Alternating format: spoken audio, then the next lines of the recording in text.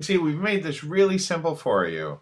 Um, up at the top here, what we can do is we can decide, first of all, if we want to have the plugin enabled. And it's going to be checked off already enabled. And we can decide if we're going to be online or offline, okay? And we can also get a sound beep so that when someone does enter into the chat box, we'll get a beep letting us know that someone is there in the chat box. We can go ahead set the color. We can decide what we want the chat box to say at the top. We can have an offline message that we can write in here of what we want it to say if we're not uh, online. We can have a disconnected message in case someone gets disconnected. Can have the waiting for operator to respond. That's what it's going to be like when they type in a message and they're waiting for you or whoever you're going to have manning your chat respond. You can have a welcome message customized, an input for the the chat message with the message we want them to say. We can have a placeholder for the name and a placeholder for the email. And we can customize this to suit our needs. And what I've done here and once you've made these changes, you'll just go ahead over here on the right hand side and click Save.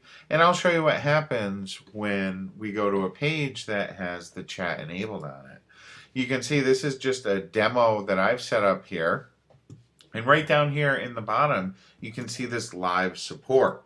Okay, so I'm going to go ahead, I'm going to enter in my name here, and I'll enter in my email address.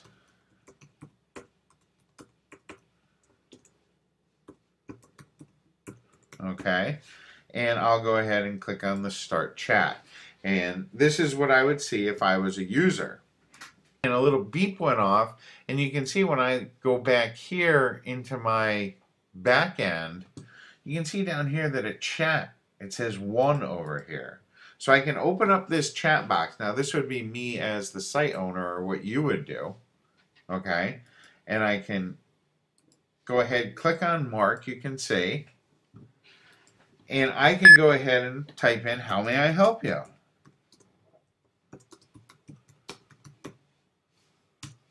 Okay, and I've sent that off to the user, and then we can go back, you just heard a little beep there. You can see as the user on this WordPress site, I can then go ahead, this is a great way to go ahead and sell services, help people, put one of these on a squeeze page or on a sales page, and you're going to see your conversions just go through the roof. Okay? And it's just a great little plugin.